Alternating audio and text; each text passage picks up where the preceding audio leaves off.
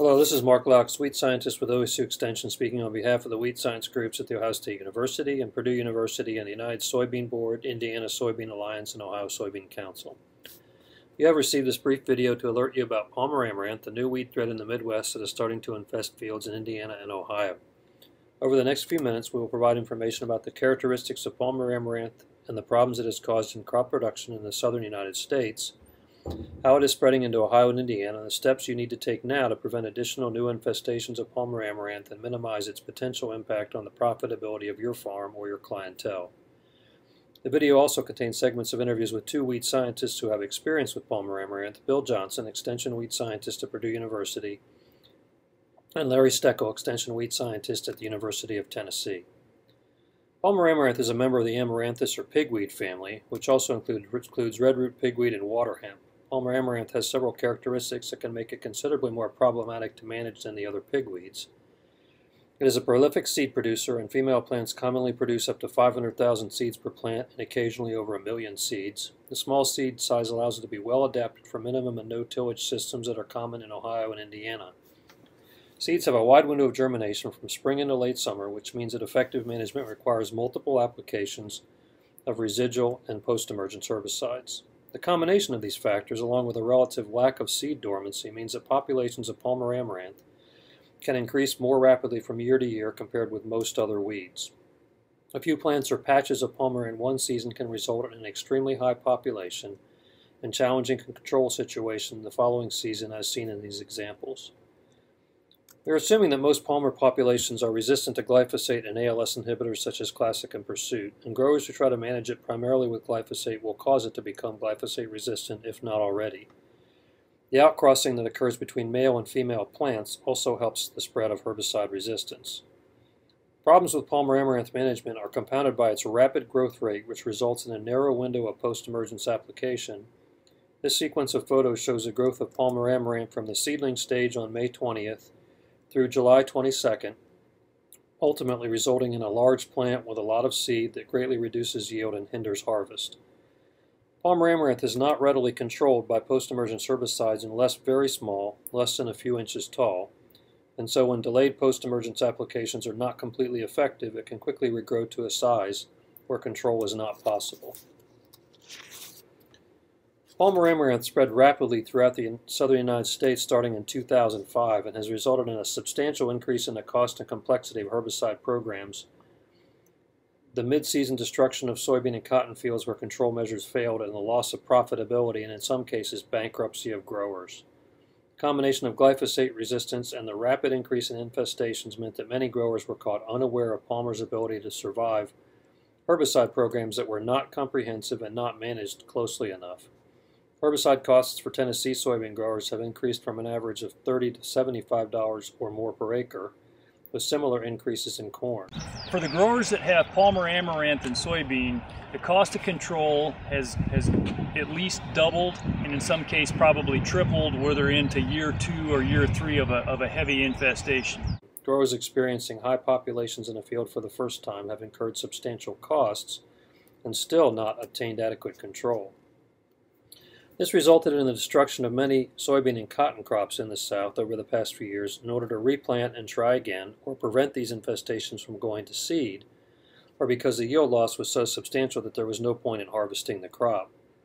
Some growers eventually resorted to hiring crews of laborers to remove plants from fields at a cost of more than $100 per acre. Plants must be completely uprooted and removed from the field because it's possible for them to reroot and continue growing if left in the field. Palmer amaranth has now been found in most Midwestern states, and there are substantial areas infested in Indiana and Michigan. Palmer now occurs in at least 20 counties in Indiana as of August 2013, with a concentration in northwestern Indiana. There are several known infestations of Palmer amaranth in Ohio at this time, which means that there are probably others we are not aware of. New infestations of palmer appear to have several potential origins. The source of some infestations, including a major one in southern Ohio, may have been through contamination of seed used to establish CREP or wildlife type areas. The source of the major infestations in Indiana and Michigan appears to have been the use of cotton processing byproducts for feed and animal operations, which were contaminated with palmer seed. Manure from these operations was spread on crop fields, resulting in some initially limited infestations that then spread over larger areas, possibly via harvesting equipment. We do not know at this time really how frequently palmer is a contaminant of the cottonseed feed products, but we have to assume that there is some level of contamination. It's also possible that equipment moved from the southern to midwestern United States has contained palmer amaranth seed. Areas where we've identified Palmer amaranth, there's a high degree of correlation with, uh, with dairy industries being close by or uh, large farming operations where animal manure was spread and a combine went through that area and spread the, the seed to another field. Palmer amaranth is easily identified when large with seed heads, but somewhat more difficult to identify when small. Key characteristics for identification include a lack of hair on stems and leaves, the frequent occurrence of a single hair in a notch at the tip of younger leaves, long leaf petioles, the part connecting the leaf to the stem, especially on long, younger leaves. These are frequently as long or longer than the leaf itself. Leaves that are somewhat diamond or ovate shaped and widest near the base and organized in a rosette pattern growing point. The petiole length has really become a major identifying characteristic when trying to separate this species from water hemp. The hair on the leaf tip notch is very small and best seen on younger leaves. Leaf shape is another characteristic that differentiates palmer from water hemp. Leaves of water hemp are longer and more narrow compared with palmer, although at times there appears to be some hybridization between species and intermediate leaf shapes that make identification more difficult. Palmer amaranth will typically become larger than other pigweed species with a broad stem near the base that can be several inches in diameter. Ultimate size of the plant is of course determined by how early it emerges and whether it has to compete with the crop, but it can reach a size that exceeds most other weeds in Midwestern soybean production.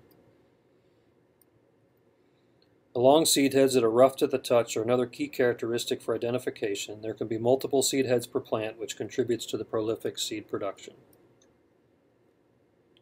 One of the reasons that you are receiving this video now is that we want growers to be aware of Palmer amaranth as they harvest soybean fields this fall. It's absolutely imperative that where you suspect you have Palmer amaranth infestations, contact your local agronomist and the weed scientists at Purdue and OSU to confirm the identification and obtain recommendations for management. It's possible to determine whether palmer plants are producing mature seed by shaking seed heads into your hand and watching for small black seeds that indicate maturity. Plants that are not yet producing seed should be uprooted and removed from the field. In fields where the plants have already produced mature seed, growers have one opportunity to try to prevent future problems by following these steps. Do not uproot and drag plants through the field since this will spread seed. Harvest infested fields last and thoroughly clean the combine afterwards. And finally, Moldboard plow the field to bury seed and allow them to decompose and lose viability. This seems like a drastic recommendation, but our counterparts in the South have assured us that this is the last possible measure that can be used to prevent what they have experienced there. Try and keep it from, from getting started on your fields.